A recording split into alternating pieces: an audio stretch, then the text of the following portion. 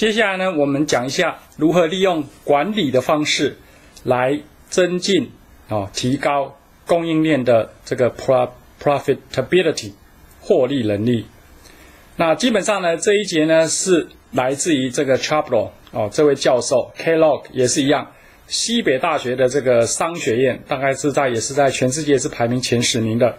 那他写的这本书写的非常的好，叫供应链管理。那这个呢，也是除了介绍给同学们了解之外，也是要跟各位同学们讲说，这个工业系哦的这个专业是非常重要的。那这个是一个非常在这个供应链管理非常有名的一个案例，好，这是一家公司，那他卖东一哦滑雪的。那各位知道呢，这个利用利用呢这个地理上的。特性啊，比如说我们是冬天，然后呢，我们的东西最后卖不出去的时候呢，我们怎么样？就给它运到南美洲，因为它是扩了，这个是赤道，所以呢，这个这边如果是冬天，然后这边就是这个夏天。啊，如果这边是夏天啊，这边是冬天，刚好两个是相反。所以呢，这种显而易见的这个行动呢，就是增加利润的方法，就是说，我们要想办法增加我们的残值，哦，就是我们在前面讲的 new spender 的问题。那这个公司它就是在冬天的时候在美国，然后呢，剩余的就给他明年的时候换他们是冬天，哦，半年之后。那另外一个呢，就是降低呢你的所谓的。缺货的所谓的这个 margin loss，哦，这要想办法去改变那一些数字。所以各位要知道哦，这一章的重这一小节的重点在跟你讲说，前面那些数字呢不是给定，你要想办法去增加或减少那些数字对我们利润产生的影响。好，所以呢，为什么要去修这些课程？因为这些课程系统化的跟你介绍了企业解决这些问题，他们采用的这个方法。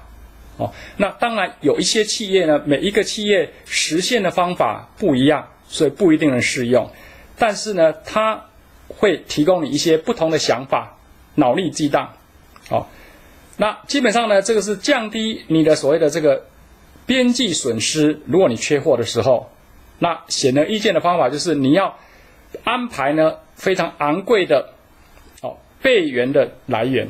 比如说甚至从你的竞争厂商。也就是你缺货了，你的利润减少了，对不对？那你为了避免你的利润减少呢，你就要想办法去买比较贵的东西。好，好，那另外一个呢，是降低呢你的需求的不确定性。然后我们接下来在这本书里面会介绍四个方法。哦，第一个方法呢，就是改进了你预测。好，我们看一下，买这个餐具，这是一家高档的百货公司，有圣诞节图案的。那这一种也是一样哈，因为呢，你是因为这个圣诞节呢是欧美的采购的旺季，所以呢，台湾如果以台湾而言呢，为了配合他们的制造，配合他们的商品的需求，通常呢，我们的旺季呢就是在秋天准备库存。那过了圣诞节之后呢，一二月呢就是所谓的淡季，好，然后呢，但是这种销售量跟前面的这个一样，它呢需求呢是不确定的，然后呢过了这个之后呢，你可能就没有买这个产品的需求，那你的价格就会降下来，好，所以呢我们要去做这个需求的预测，好，所以基本上呢这个就是这些产品。好，假设呢，你的订购成本是一百块，你的销售量是两百五，你的残值是八十块。圣诞节之后，好，这个赔本卖出。那假设呢，你的平均的这个这个标准分配的期望值是三百五，那如果呢，你估计的所谓的标准差是一百五，那你就订购五百二十五。那你期望的 Overstock 定太多就是一百八十七，那你期望的 Understock 定太少是九，那你的利润呢是四万七千。那有趣的事情发生了，当你的标准差变小，在相同的期望值底下，如果你有办法改进你的预测，使得你的标准差变小，因为标准差代表不确定性，所以当你的不确定性降低的时候呢，各位订购量呢就下降了，甚至说，如果你没有不确定性，你是三百五，我就定三百五。不会缺货，也不会少货，不会太多，也不会太少，这不是一个完美，当然不可能，这是一个理想值。那只不过在这个理想的情况底下呢，他跟你讲说，你的期望利润呢，就是五二五零零，